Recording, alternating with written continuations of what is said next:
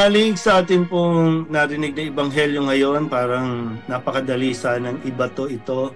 no, itong mga pananalitang ito sa mga taong involved no, sa pinag-uusapan natin, dyan sa gobyerno, yung sinasabing na ni Jesus, kawawa kayo para kayong mga libingan, magaganda sa labas, ah, nabubulok naman sa loob. Napakadali ibato sa ibang tao ito, pero ang paanyaya sa atin ay tayo mismo, suriin natin natin mga sarili kasi baka mahulog tayo sa tukso na manghusga at tumatol sa panlabas din na, na nakikita natin. Kasi kung tutuusin,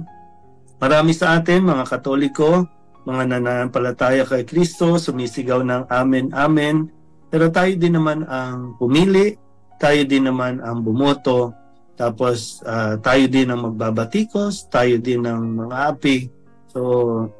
ito ay sana po mas mapagnilayan natin na sinasabi sa atin ni Jesus no, na ayusin natin ang ating mga kalooban dahil kahit anong pagtatago natin, pagtatakip sa panlabas, kung ang ating ugali ay magaspang, kung ating ugali mapagkunwari, lilitaw at lilitaw ang kapangitan nito pagdating ng araw isa yan sa pinakaayaw na Jesus sa kanya mga sa mga sumusunod sa kanya ang maging mapagpaimbabaw o pakitang tao lang. Sikapin natin isa buhay, isa puso natin ang mga